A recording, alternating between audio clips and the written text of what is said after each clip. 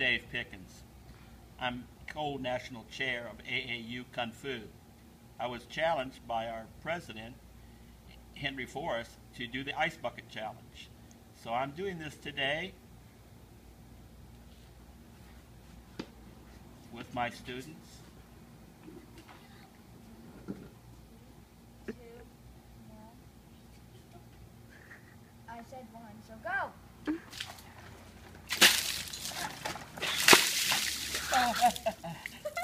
Yes.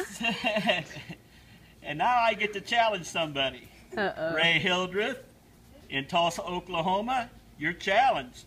Guy Forsythe, international rock star, you're challenged. And oh, big buck James Justin Pickens, you've been challenged. Oh.